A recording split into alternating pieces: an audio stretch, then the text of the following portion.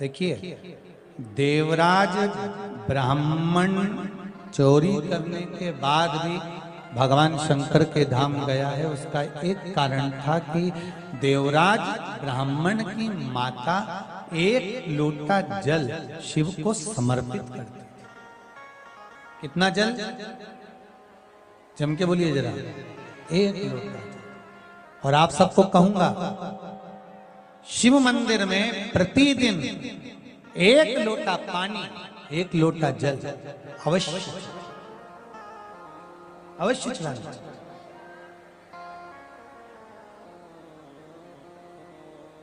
एक लोटा पानी भगवान शंकर को अवश्य क्या होता है? तीन दोष समाप्त होते हैं एक लोटा पानी शिव जी को चढ़ाने से। तीन दोष। पहला, पितृदोष।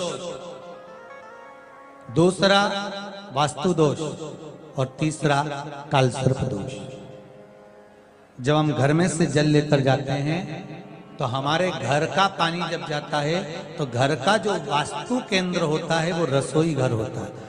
रसोई घर में से जल ले जाकर शिव जी को चढ़ाते हैं तो उससे वास्तु दोष समाप्त दूसरे नंबर पर है पितृदोष।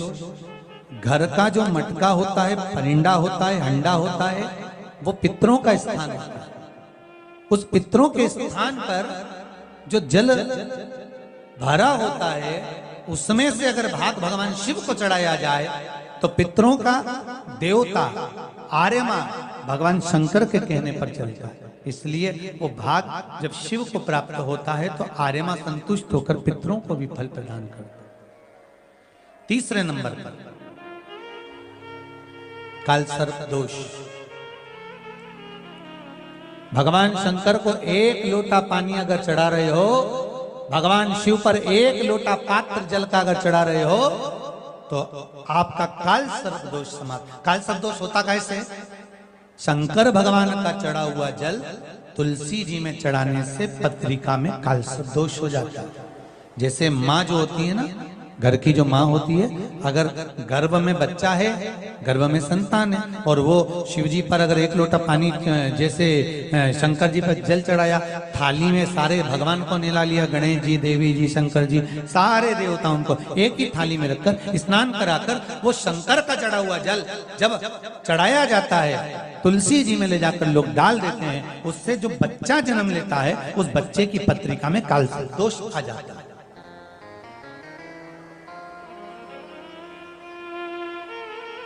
इसलिए शिव महापुराण की कथा कहती है, सारे देवताओं को भले एक ही थाली में स्नान करा लो, एक ही पात्र में स्नान करा लो, पर देवादिदेव महादेव को एक छोटे से पात्र में अलग से स्नान करा लेना चाहिए। अलग से।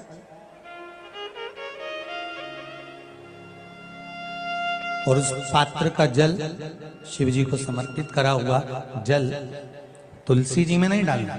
तुम्हारे घर में जो पौधा हो, जो पौधा हो आपके आप उसको उसमें समर्पित कर जैसे बेलपत्री चढ़ाने के बाद जल चढ़ाना, या जल चढ़ाकर बेलपत्र चढ़ाना। एक पत्र है, बड़ा सुंदर है, छोटा सा भाव। प्रश्न अच्छा है, आप सबके हित का।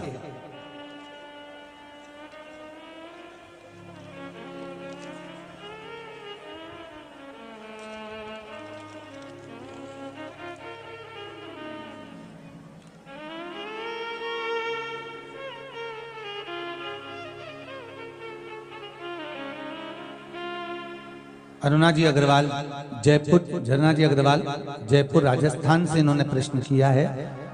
गुरुदेव, दूध, कच्चा दूध केवल शिवलिंग पे चढ़ाना चाहिए या पूरे शिव परिवार पे चढ़ाना चाहिए? प्रश्न अच्छा है।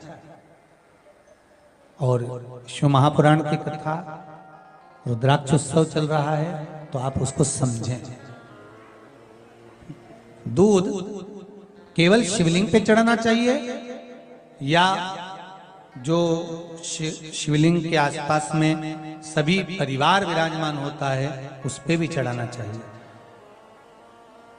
अगर लिंग पुराण आप उठाकर देखेंगे तो लिंग पुराण में एक बड़ा सुंदर संवाद आता है, जिसमें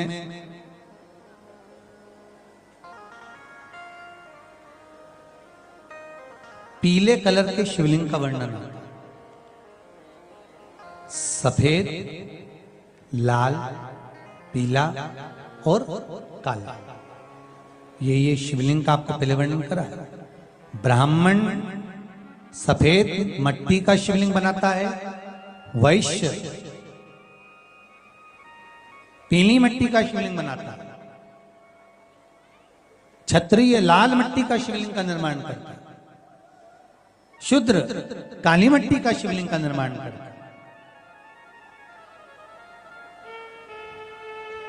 काली मिट्टी के शिवलिंग का निर्माण करता ये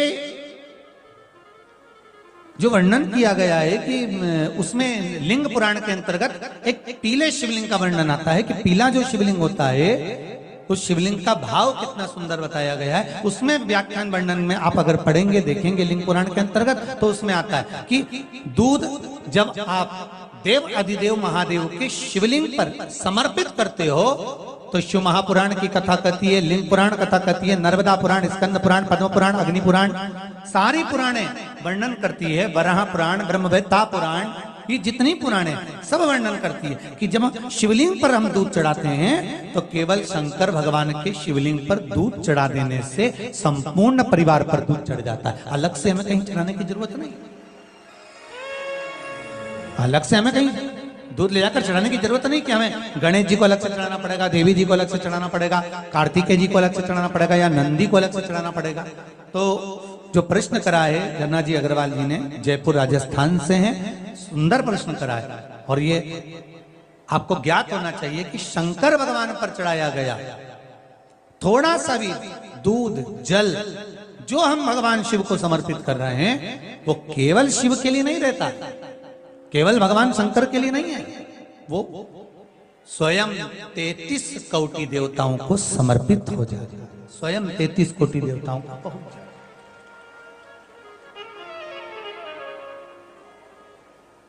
अलग से देने की ज़रूरत नहीं होती।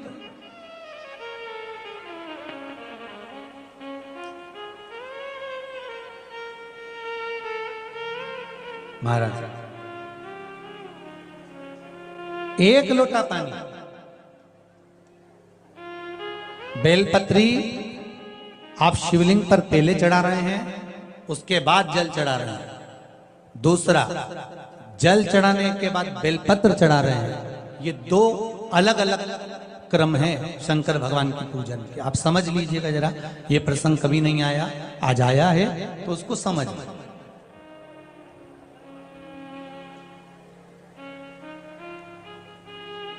पहले बेलपत्र, उसके बाद में जल, जो चढ़ाया जाता है, ये रोग मुक्ति के लिए चढ़ाया जाता है। काय के लिए चढ़ाते हैं अपन? रोग के निवारण के लिए। रोग मुक्ति के लिए। जैसे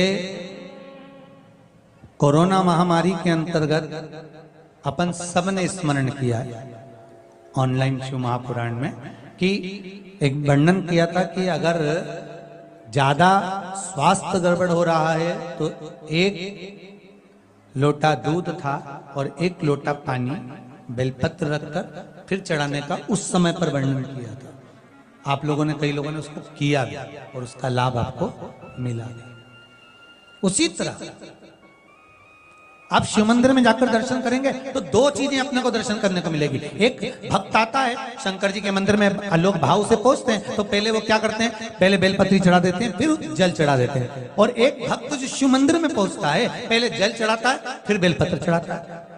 दोनों का अलग अलग क्रम है, दोनों का अलग अलग भाव वर्णन पहला, अगर बेलपत्र चढ़ाया है और उसके बाद अगर शंकर भगवान पे जल चढ़ा रहे हो तो ये रोग मुक्ति के लिए होता है। जैसे बड़े रोग किसी को हो जाए, रोग किसी को घेर ले तो वो बेलपत्री चढ़ाने के बाद फिर जल चढ़ाएगा। तो उसको रोग थम जाएगा और फिर वो रोग आगे नहीं बढ़ेगा। आगे नहीं बढ़ेगा। रोगों को थामने के लिए बेलपत्री पहले, फिर जल। और जब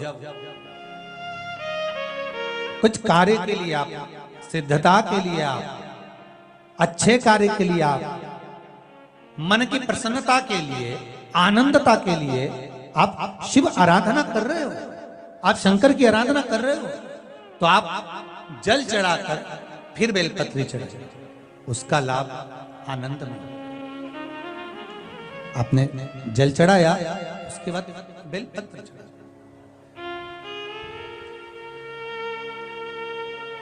बस एक बात का स्मरण आपको होना चाहिए शिव महापुराण का, कि जब भी भी आप भगवान शंकर को बेलपत्र चढ़ाते हैं, बेलपत्र समर्पित करते हैं, बेलपत्र समर्पित करते समय प्रयास करा करें कि ये बेलपत्र को जब भी भी आप समर्पित करें, प्रयास करें कि बीच की जो पत्ती होती है बेलपत्र की, मध्य की जो पत्ती होती है, उसको अंगुष्ठ से पकड़ा जाए उसके बाद में आप फिर बेलपत्री को शिव पर समर्पित करें। प्रयास करिए।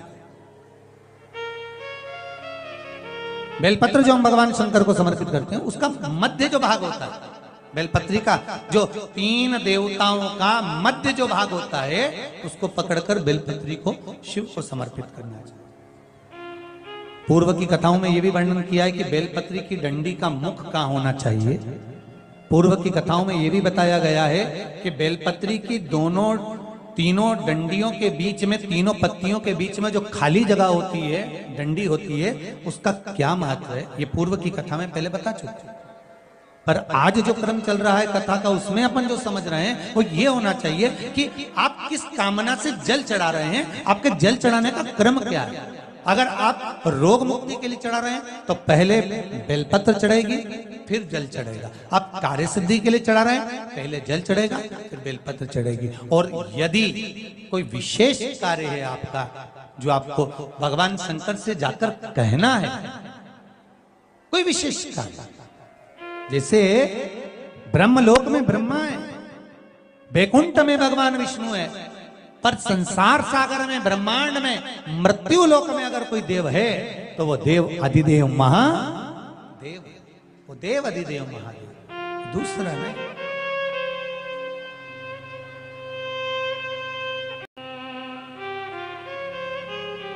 कोई दूसरा नहीं है। भगवान दया करना। भरोसे भोलेनाथ दया करना,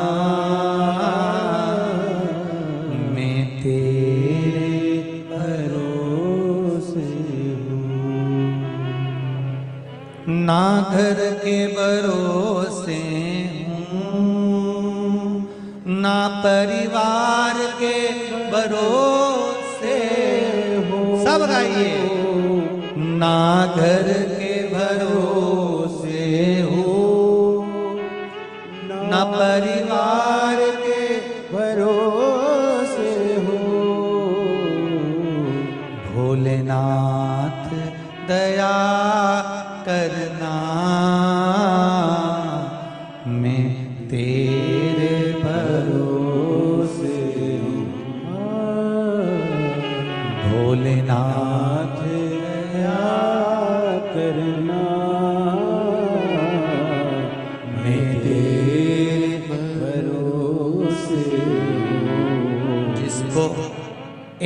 भरोसा होता है, शंकर का।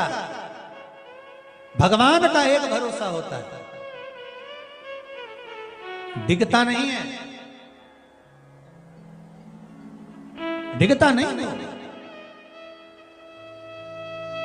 ना इनके भरोसे हूँ, ना उनके